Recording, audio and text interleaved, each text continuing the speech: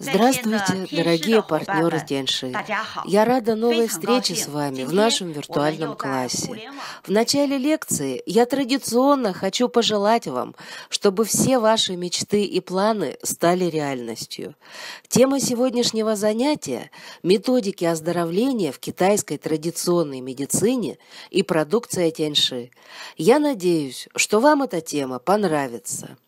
Методов и способов оздоровления в китайской традиционной медицине очень много. Один из них – концепция суточных периодов активности энергетических меридианов. Это одна из базовых концепций традиционной китайской медицины. В чем же она заключается?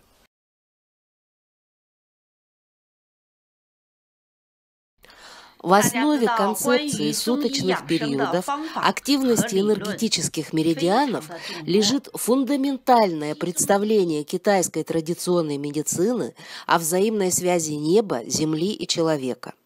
Все закономерности, по которым протекают физиологические процессы и патологические изменения в человеческом организме, находятся в прямой зависимости от изменений в природе в соответствии с определенным сезоном и временем суток.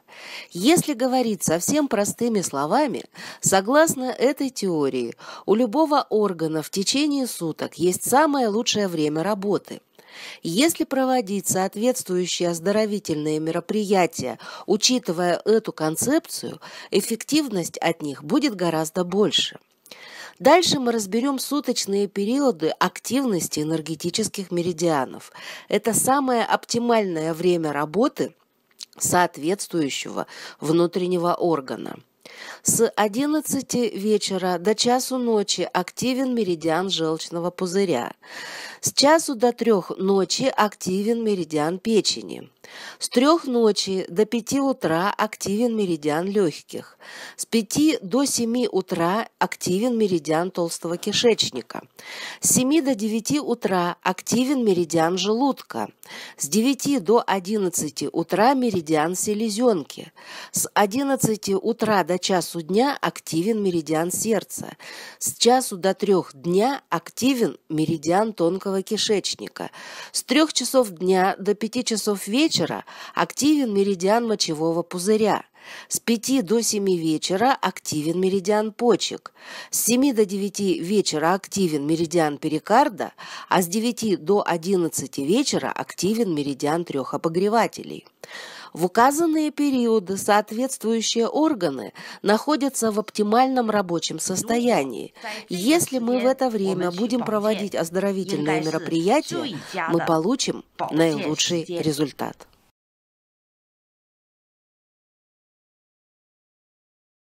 12 основных меридианов – это основа системы каналов и коллатералей в человеческом организме, связанная по принципу внутреннее-внешнее с кровеносной системой. Каждый меридиан связан с определенным органом. Меридианы делятся на инные и янные. Они проходят по рукам и ногам и образуют единую систему, по которой совершается непрерывный энергетический круговорот. Энергия Ци и кровь через кровеносные сосуды и энергетические меридианы поступают во внутренние органы и во внешние покровы, осуществляя питание всего организма. 12 основных меридианов делятся на четыре группы. Три ручных инных, три ручных янных, три ножных инных и три ножных янных. Три инных меридиана на руках проходят по внутренней поверхности, а три янных меридиана проходят по внешней поверхности руки. Соответственно, инные меридианы на ногах проходят по внутренней стороне, а янные по внешней. Инные меридианы на руках – это меридианы легких, перикарда и сердца. Янные меридианы на руках – это меридианы толстого и тонкого кишечника трех обогревателей. Три иных меридиана на ногах – это меридианы селезенки, печени и почек.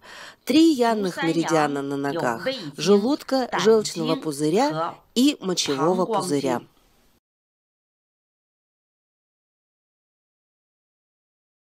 Знание о 12 основных меридианах и о суточных периодах их активности очень важны, если вы хотите сохранить здоровье. Я вам расскажу о каждом меридиане, и мы начнем разговор с меридиана желчного пузыря. У ножного меридиана желчного пузыря время активности, как я уже говорила, э, ночью э, с 11 вечера до часу ночи. Этот меридиан относится к янным меридианам. Он проходит по внешней поверхности тела сверху вниз, от головы по корпусу и заканчивается на ступне. Если меридиан желчного пузыря становится непроходимым, могут возникнуть разные проблемы. Если непроходимость возникает в той его части, которая расположена на голове, появляются головные боли, локализованные на висках. Поэтому, если возникают головные боли или дискомфорт в височной части, не факт, что это проблемы с головой. Это могут быть проблемы с желчным пузырем. От такой боли можно избавиться восстановлением проходимости меридиана желчного пузыря. Как сохранить здоровье желчного пузыря? Во-первых, обязательно надо ложиться спать до 11 вечера. И, наверное, вы поняли почему. Время активности меридиана желчного пузыря с 11 вечера до часу ночи. Когда он работает, человек должен спать. Поэтому самое оптимальное время отхода ко сну не позднее 11 вечера. Китайская медицина постоянно подчеркивает, что надо рано ложиться и рано вставать. Так вот, рано ложиться – это примерно в 10 часов вечера. Во-вторых, необходимо соблюдать правильный режим приема пищи. Самый важный прием пищи в течение дня – завтрак. У тех, кто постоянно не завтракает, могут легко развиться проблемы в желчном пузыре. Поэтому нужно соблюдать правильный режим приема пищи и не пропускать завтрак. В-третьих, чтобы обеспечить проходимость меридиана, нужно делать простукивающий массаж меридиана желчного пузыря. Как его делать? Внешнюю поверхность бедра, по которой проходит этот меридиан, надо разделить мысленно на четыре отрезка. Поставить ногу на подставку, согнув колени. Ударять нужно по четырем точкам на бедре. Четыре удара – этот один раз. Повторить надо 200 раз, сначала на левой, а потом на правой ноге. Этот массаж лучше делать два раза в день, в 10 утра и в 3 дня. Его можно делать и перед сном. Какую продукцию тяньши можно использовать для защиты желчного пузыря? Желчный пузырь и печень – это парные органы. Они соединяются через меридианы. Если печень здорова, будет здоров и желчный пузырь. Поэтому мы можем использовать хитозан в капсулах тяньши, спирулину, вейкан, антилипидный чай для поддержания здоровья желчного пузыря. Хитозан полезен для печени, поэтому, оздоровив печень, вы оздоровите желчный пузырь. Антилипидный чай нормализует кровоток. Спирулина дает питание для печени. Абат тяньши с высоким содержанием кальция дает питание и для печени, и для желчного пузыря. Вейкан стимулирует сокращение желчного пузыря, улучшает отток желчи.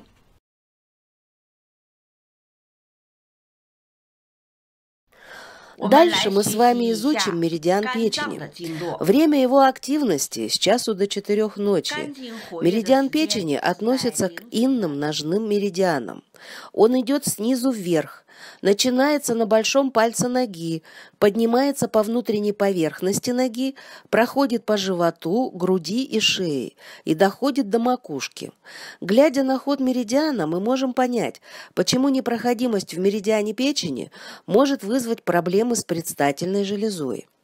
Те мужчины, у которых есть проблемы с печенью, должны заранее озаботиться профилактикой простатита. По лицу меридиан печени доходит до глазного яблока. Проблемы с глазами и со зрением также очень тесно связаны с состоянием печени. Меридиан печени проходит и по верхним, и по нижним зубнам. Зубная боль – это тоже влияние проблем проходимости меридиана печени. Даже боли в коленях не всегда говорят о проблемах с коленным суставом. Так может проявиться и проблема с печенью. Иногда с этим меридианом связаны чувства распирания и боли в животе, нарушение стула. Мы с вами разобрали ход меридиана печени. В дальнейшем это должно вам помочь точнее наблюдать за своим здоровьем. Теперь перейдем к вопросу, как сохранить здоровье печени. Во-первых, китайская медицина считает, что печень и настроение взаимосвязаны. Хорошее у человека настроение или плохое – это зависит от печени. Сохранять ровный душевный настрой очень полезно для здоровья печени. Во-вторых, надо рано ложиться спать и рано вставать. Мы уже разобрали, что рано ложиться – это значит до 11 вечера, а рано вставать – это значит в 5-6 утра. Третье. Нужно делать массаж по ходу меридиана печени. Можно легонько похлопывать себя по внутренней стороне ноги.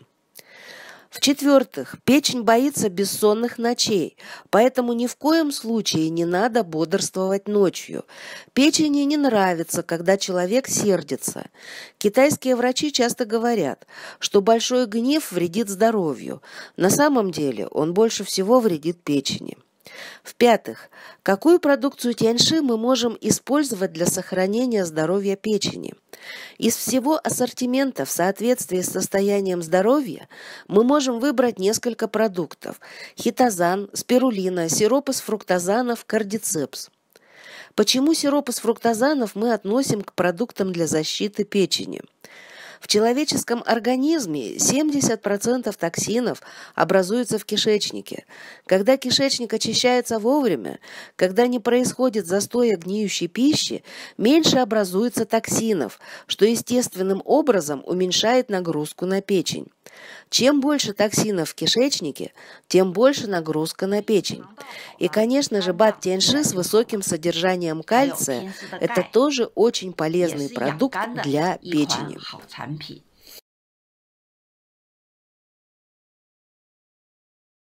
Давайте разберем меридиан легких. Время активности этого меридиана с 3 до 5 часов утра. У многих людей именно в это время могут быть сильные приступы кашля. Меридиан легких – это инный ручной меридиан. Он проходит по внутренней поверхности руки, сверху вниз. Начинается на грудной клетке, по плечам и предплечьям, по внутренней стороне доходит до большого пальца на руке. Частью, проходящей внутри тела, он соединяется с меридианом толстого кишечника. Они связаны и влияют друг на друга. Воздействие хлопками по ходу меридиана легких очень помогает сохранить не только здоровье легких, но и толстого кишечника. Как обеспечить здоровье легких? Во-первых, обеспечить глубокое дыхание, следить за расширением грудной клетки, особенно во время движения.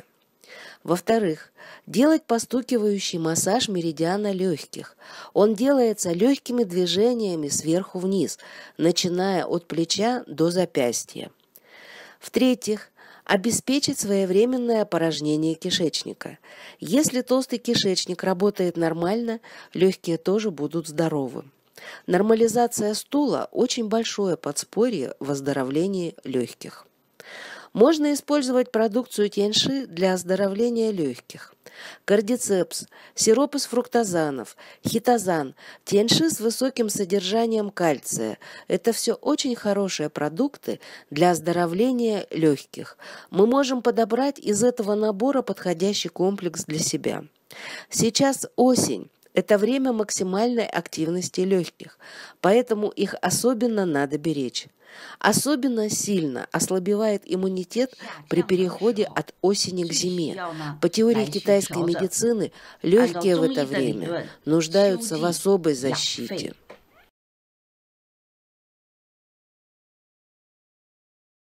Меридиан толстого кишечника относится к янным меридианам и идет по внешней стороне руки.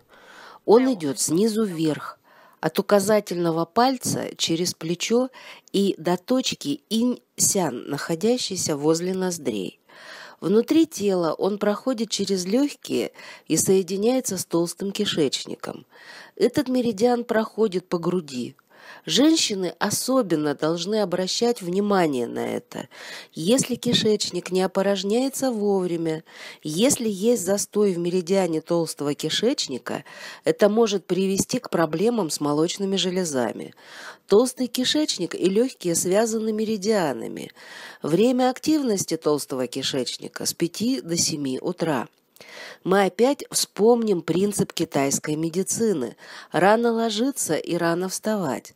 Лучше всего вставать с постели именно в этот промежуток времени, когда наиболее сильна перистальтика толстого кишечника, и это позволит без особых усилий избавиться от содержимого.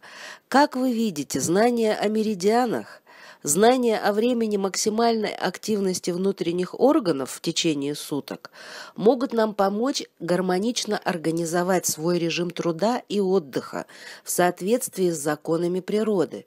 Так не тратится слишком много энергии на обеспечение жизнедеятельности организма. Как сохранить здоровье толстого кишечника? Во-первых, Часто делать массаж живота круговыми движениями ладонью. Это усиливает перистальтику кишечника. Во-вторых, делать простукивающий массаж меридиана толстого кишечника. Мы уже разобрали, что он походит по внешней стороне руки. Мы можем делать похлопывающие движения по а, направлению от пальцев к плечу, сначала по левой руке, а потом по правой. В-третьих, необходимо обеспечить своевременное опорожнение толстого кишечника. В-четвертых, использовать продукцию Тяньши для оздоровления толстого кишечника. У корпорации Тяньши есть целая серия продукции для здоровья кишечника. Жевательные таблетки с целлюлозой, сироп из фруктозанов, хитозан, а с высоким содержанием кальция. Три из перечисленных продуктов относятся к пищевым волокнам. Толстому кишечнику нравится высокое содержание пищевых волокон, так как их наличие стимулирует перистальтику и не дает застаиваться токсинам.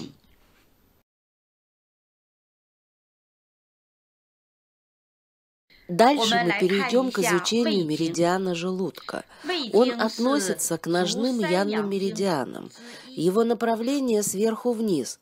Это меридиан, который проходит от головы через грудь, живот, идет по бедру и по колену, до пальцев ног.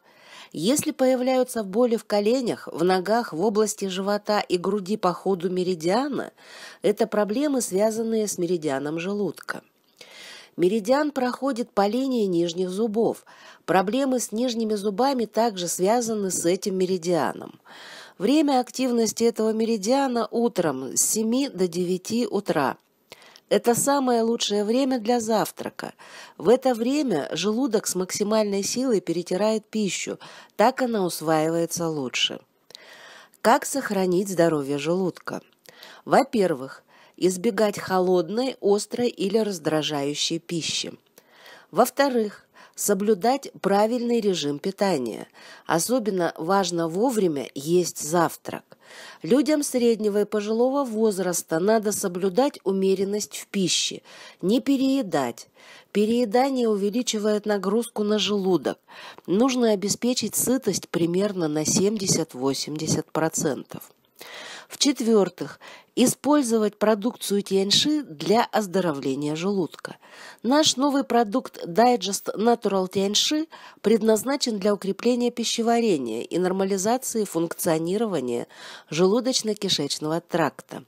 Цинк полезен для слизистой, ускоряет ее регенерацию. Хитозан также способствует регенерации, плюс бат-тяньши с высоким содержанием кальция.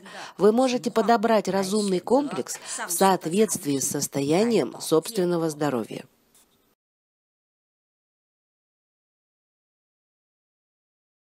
Сейчас мы перейдем к изучению меридиана селезенки. Время его активности с 9 до 11 утра. Он относится к инным меридианам. Начинается на пальцах ног, затем через ступни и колени по внутренней стороне ноги, через живот и грудь он доходит до точки, находящейся под языком. Если язык становится толстым, по краям языка появляются следы от зубов, это значит, что есть проблемы с селезенкой. Китайские врачи часто по состоянию языка оценивают здоровье селезенки. Иногда боли в коленях также говорят о проблемах с селезенкой. Как сохранить здоровье селезенки? Во-первых, и желудок, и селезенка очень боятся холодной, сырой, раздражающей пищи. Если часто употреблять такую пищу, в итоге можно серьезно навредить и желудку, и селезенке. Во-вторых, надо соблюдать правильный режим питания, перестать кусочничать. Селезенка очень боится, если мы непрерывно что-то жуем. Ей нравится прием пищи строго по времени. Постоянные мелкие перекусы очень вредят функциям селезенки. Можно использовать продукцию тенши для оздоровления селезенки. Из всего ассортимента мы можем выбрать следующие продукты. Цинк оздоравливает селезенку. Спирулина дает необходимые питательные вещества для желудка и селезенки. Тяньши с высоким содержанием кальция нормализует работу селезенки. При выборе продукции нужно учитывать ситуацию с собственным состоянием здоровья и подобрать комплекс для оздоровления селезенки. Здоровье человека возможно только если желудок и селезенка здоровы. Селезенка отвечает за процесс распределения питательных веществ. И если функции желудка и селезенки понижены, то организм не получит достаточного количества питательных веществ. А если клетки, ткани и органы не будут получать достаточного питания, они не смогут нормально выполнять свои физиологические функции.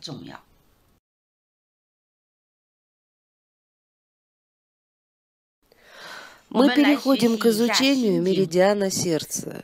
Его время активности с 11 утра до часу дня. Это один из трех ручных инных меридианов. Он идет сверху вниз, начинается на плече, а заканчивается на мизинце. Его ход внутри тела соединяет сердце и тонкий кишечник. Зная про время активности меридиана сердца, мы можем понять, почему в обед надо кушать. В это время обязательно дать сердцу новый заряд энергии. В обеденное время сердцу нравится покой. Сердце не любит нервозности, поэтому после обеденный сон – это хорошая привычка. Как сохранить здоровье сердца? Во-первых, выработать хорошую привычку после обеденного сна.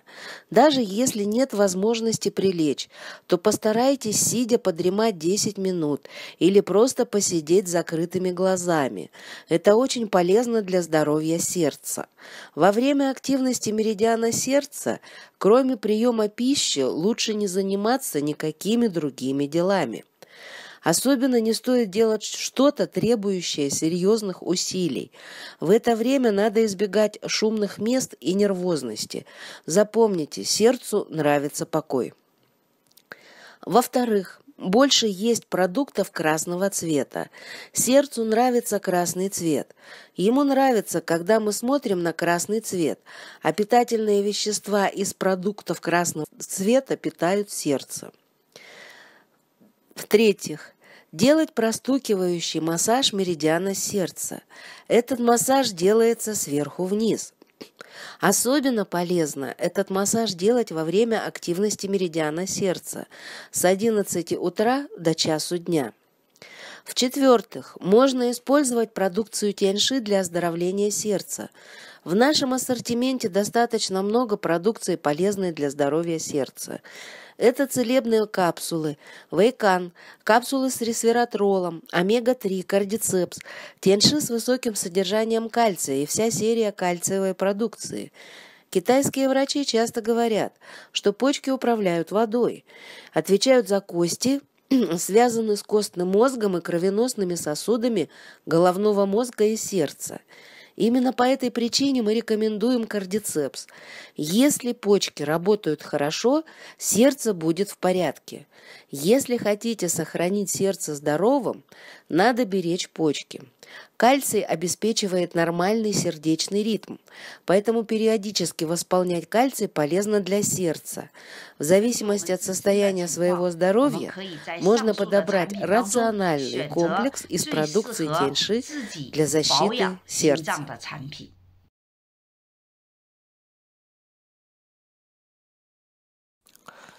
Мы с вами переходим к изучению меридиана тонкого кишечника. Время его активности с часу до трех часов дня. Основная функция тонкого кишечника – усваивать питательные вещества, а отработанные остатки отправлять в толстый кишечник. Время активности меридиана тонкого кишечника – это лучшее время для усвоения питательных веществ – Поэтому очень важно вовремя есть завтрак и обед. Меридиан тонкого кишечника относится к янным ручным меридианам. Он идет сверху вниз, начинается на плече, по внешней стороне руки спускается вниз и заканчивается на мизинце. Вам теперь становится понятно, почему у людей с больным сердцем часто болят плечи, особенно левое плечо. Если часто болит левое плечо, это не обязательно боли в самом плече. В этом случае лучше проверить состояние сердца. Внутренний ход меридиана соединяет сердце и тонкий кишечник, поэтому очень часто проблемы с сердцем отражаются на состоянии меридиана тонкого кишечника. Нужно помнить об этом и обращать внимание. В этом огромная польза от изучения основных меридианов. Как сохранить здоровье тонкого кишечника? Во-первых, не надо наедаться досыта во время каждой трапезы. Так мы уменьшим нагрузку на тонкий кишечник. Во-вторых, необходимо ограничить жирную высококалорийную пищу. Ее переизбыток создает ненужную нагрузку на тонкий кишечник. В-третьих, делать простукивающий массаж меридиана тонкого кишечника. В-четвертых, использовать продукцию Тианши для оздоровления тонкого кишечника. Первый продукт в этом списке – дайджест, второй – цинк, так как цинк помогает регенерации слизистых. Всем слизистым организма цинка требуется достаточно много – Поэтому при проблемах с желудком и кишечником не забывайте восполнять цинк. И, конечно же, наша серия кальциевой продукции – Нужно стараться использовать в пищу больше продуктов с высоким содержанием волокон. Это очень полезно для здоровья тонкого кишечника.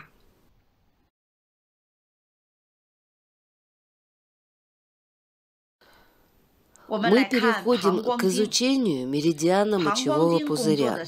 Время его активности с 3 до 5 часов дня – во время активности этого меридиана надо пить больше воды и чаще ходить в туалет. Это поможет вывести токсины крови и всего организма. Меридиан мочевого пузыря относится к ножным янным меридианам. Это самый большой янный меридиан у человека. Он начинается на макушке, потом спускается посередине спины, по задней поверхности ноги и заканчивается на ступне. Если в этом меридиане возникает непроходимость, это может отразиться на состоянии головы, спины, ног, помешать нормальной работе внутренних органов, а особенно почек. Если в этом меридиане происходит застой, человек будет чувствовать упадок сил. Как сохранить здоровье мочевого пузыря? Во-первых, для здоровья очень важно поддерживать проходимость меридиана – мочевого пузыря. Именно для этого нужно пить больше воды и своевременно опорожнять мочевой пузырь. Терпеть позывы к мочеиспусканию очень вредно.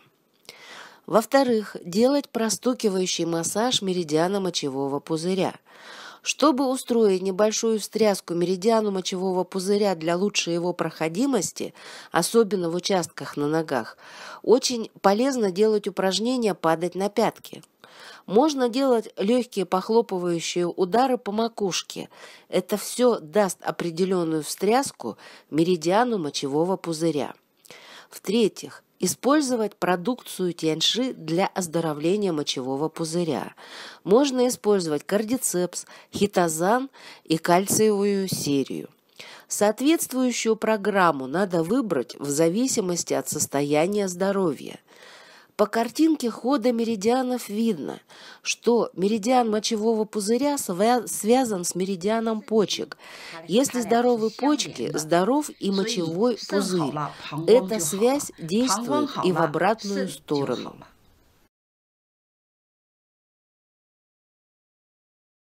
Мы переходим к изучению меридиана почек. Время его активности с 5 до 7 вечера.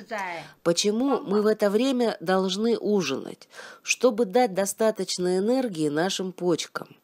Меридиан почек относится к ножным инным меридианам. Он идет снизу вверх, начинается на ступне, потом по внутренней стороне ноги поднимается вверх до груди и заканчивается возле уха. Внутренний ход меридиана проходит через копчик и поясничный отдел позвоночника. Именно поэтому при болях в пояснице мы рекомендуем не только восполнять кальций, но и принимать кардицепс, чтобы поддержать почки. А если меридиан почек непроходим, особенно в области поясницы, это может привести к развитию разных заболеваний, локализующихся здесь. Проблемы со слухом и ушами тоже могут быть связаны с меридианом почек. Если почки здоровы, слух будет ясным. Если хотите, чтобы не было нарушений слуха, берегите почки. Как сохранить здоровье почек? Во-первых, нужно обязательно засыпать до 11 вечера. Почки очень не любят бессонные ночи. Бессонные ночи вредят не только почкам, но и печени. Во-вторых, нужно больше использовать в пищу продуктов черного цвета, так как продукты черного цвета полезны для почек. В-третьих, делать массаж меридиана почек. Я уже говорила, что полезно делать упражнения, падать на пятки. Так мы делаем встряску для меридиана мочевого пузыря и восстанавливаем его проходимость. Это полезно и для почек. В-четвертых, можно использовать продукцию тяньши для оздоровления почек. Кардицепс – лучший продукт для этой цели, так как кардицепс входит в два меридиана – почек и легких. Он оказывает хорошее оздоровительное действие на эти два органа. Второй продукт – это цинк, который активирует клетки нашего организма. Кальциевая серия тяньши тоже может быть полезна. Китайская медицина говорит, что почки управляют костями. Если кости крепкие, почки тоже будут крепкие. Укрепление костной ткани – это одновременное укрепление почек. Мы можем подобрать для себя подходящую программу в соответствии с потребностями своего организма.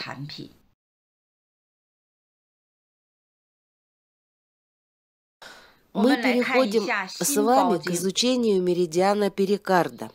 Но сначала мы должны разобраться с тем, что такое перикард. Он как бы окружает сердце, основная его функция – защита сердца. У всех внутренних органов по одному меридиану. Только у сердца два меридиана – меридиан сердца и меридиан перикарда.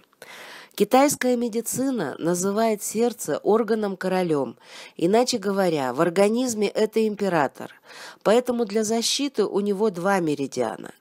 Время активности меридиана перикарда с 7 до 9 вечера. До этого времени лучше уже съесть свой ужин и закончить дела, требующие серьезных усилий. Сердцу нравится покой, поэтому в это время можно почитать книгу, посмотреть телевизор, послушать музыку или пойти погулять в медленном темпе. Меридиан перикарда – это инный меридиан на руке. Он идет сверху вниз, начинается на груди, а потом по средней линии на внутренней стороне руки спускается до центра ладони. Делать простукивающий массаж по ходу этого меридиана очень полезно. Дальше мы перейдем к изучению меридиана трех обогревателей. Три обогревателя – это общее название для брюшной и грудной полости, которые вмещают все наши внутренние органы. Три обогревателя объединяют все органы вместе. Этот меридиан относится к янным ручным меридианам. От безымянного пальца он идет по внешней стороне руки, заканчивается на плече. Почему мы разбираем последний этот меридиан? Его время активности с 9 до 11 часов вечера. Это время, когда задействованы все наши внутренние органы. И непроходимость этого меридиана скажется на здоровье всех органов человека. Мы должны в это время отдыхать, чтобы внутренние органы делали ту работу, которую они не доделали днем.